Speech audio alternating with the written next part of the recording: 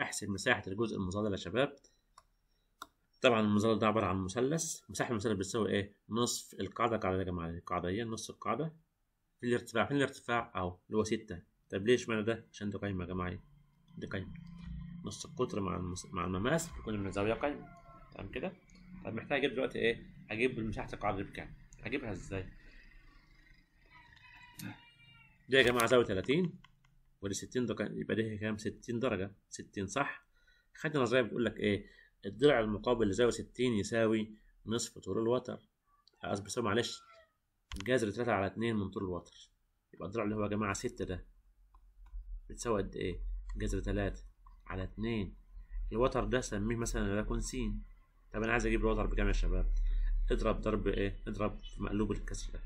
يبقى س بس بتساوي ستة في اتنين على جذر تلاتة يا جماعة. هتساوي اتناشر على جذر تلاتة. لما أعمل إنتاج مقام أضرب بسط المقام في جذر تلاتة.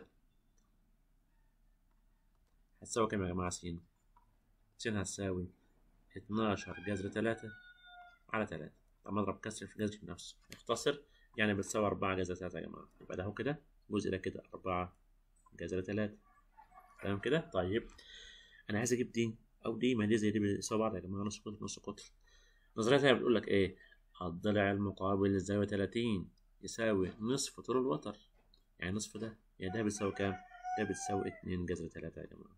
يبقى ده كمان برضه 2 جذر 3 حسبنا المساحة نصف القاعدة اللي هي 2 جذر 3 ارتفاع اللي هو 6 نص مع الاتنين يا جماعة راح تبقى الحالة عندك ب 6 جذر 3